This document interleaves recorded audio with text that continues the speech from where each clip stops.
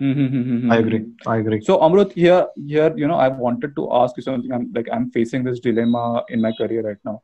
Uh, so, uh, so when when you like, we had this conversation before, and you said that you know when you have some idea, then you should go full fledged for it, right? so when you some have some idea like uh, you want to wake up at 5 a.m then start waking up at 5 a.m next day and then track yourself that you are you are doing it like every day okay so this is this is one one kind of process and the other kind of process is start slow you know whether say uh, every day have a goal of starting uh, waking up like 15 phase minutes out phase earlier. out yeah phase out Yeah. yeah. yeah yeah yeah so what do you think is works for you and what do you think is the best best and effective way Um, to do yeah, I believe in evolution. There is nothing called revolution. There is always an evolution. Great things take time to happen. Nothing Right. happens Agreed. overnight. Agreed. Overnight, th- there is nothing called windfall profit. There is only windfall Mhm. loss.